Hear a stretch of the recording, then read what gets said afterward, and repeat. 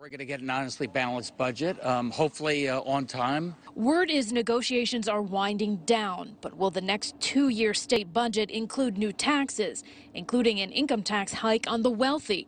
The House Speaker says that was a red line from the administration. And he's like, I'm not going to go there.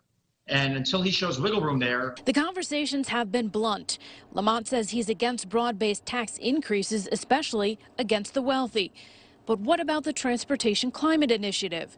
It has a fee which will add 10 cents to gas prices over the next few years. On Thursday, I asked the governor if TCI was still on the table. That provides a little bit of resources uh, so that we can do environmental things and provide free bus service starting this weekend. At a press conference about those free rides, Lamont acknowledged the increase to gas prices again. Is a fee on pollutants paid for at the wholesale level.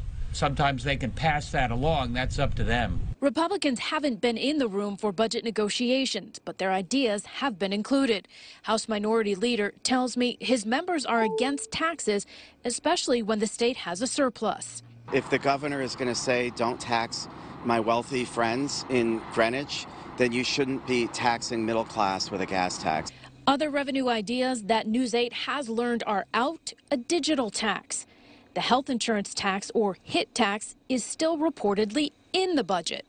The $46 billion package also includes bonding and a new bonding infrastructure fund for cities. If we can say that we're going to stick with the ECS formula we agreed to in 2017, people will go, that's pretty good. If Husky A is expanded, people go, that's pretty good. There's a lot of good stuff. The legislative session ends in 12 days.